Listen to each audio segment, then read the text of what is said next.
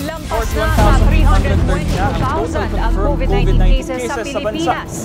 I am placing the entire mainland of Luzon under quarantine.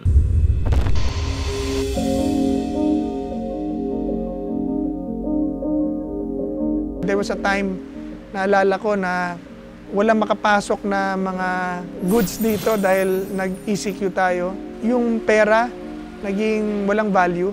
Parang bumagsak ang value ng pera dahil may pera ka, wala kang mabili.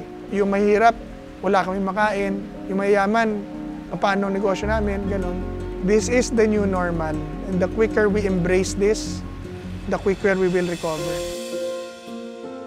Ang lupa talagang bigay ng Diyos sa tao. At any given time, we can all plant and in one month, we will begin to harvest.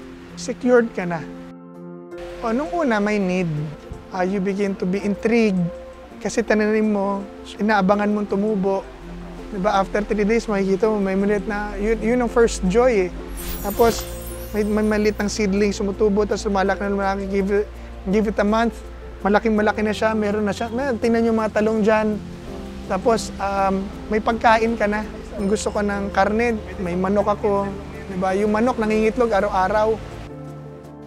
The best way to teach it is to put up one.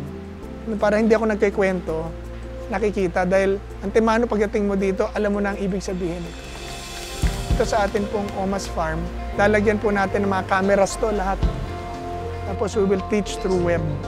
Hands-on. Kasi lahat man tayo may lupa eh. Kung wala, pwede kang magtanim sa paso. In one year, ibuhusan natin ang agrikultura, ibigay natin yung mga lupang nakatiwangwang na inangkin ng gobyerno na sinabi nilang government land, eh public land yun, public tao yun. Paano nagkalupa ang gobyerno? Eh wala pang gobyerno, may lupa na.